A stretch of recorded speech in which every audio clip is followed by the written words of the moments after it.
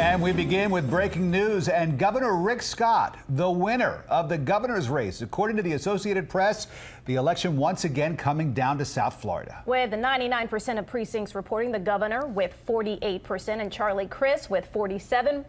That's 5.5 million ballots cast. Good evening. I'm Erica Sargent. And I'm Rick Folbaum. And tonight, CBS 4 brings you team coverage. Journalists fanned out across the state of Florida covering tonight's election. And we want to begin with CBS 4's Carey Codd, who joins us live from Governor Scott's campaign post in Bonita Springs, out on the west coast of the state. Carey, what's the latest? Well, Rick and Eric, about 45 minutes ago, a wild cheer went up in this crowd, high-fiving, shouts of four more years. That is when uh, right around the time that the Associated Press called this race for Governor Rick Scott. I did just speak to a member of Governor Scott's campaign team a short time ago. He told me that they are not ready at this point to call this race, to declare victory. They're still waiting for more information to come in. I asked if the Democratic challenger, Charlie Crist, had made a concession call to the governor. The person I spoke with said they did not believe that that had happened.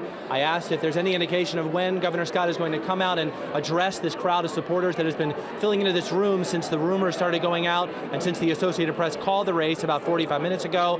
I was told there's still no ETA for Governor Scott to take the stage and address his supporters.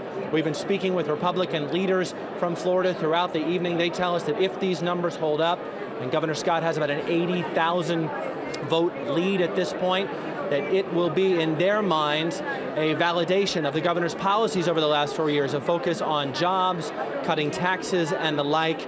So, of course, we are just waiting now for some word from the campaign team of Governor Scott that he will be taking the stage here and addressing the crowd. And of course, as soon as he does, we will bring it to you. Live in Bonita Springs, Carey Codd, CBS 4 News Tonight.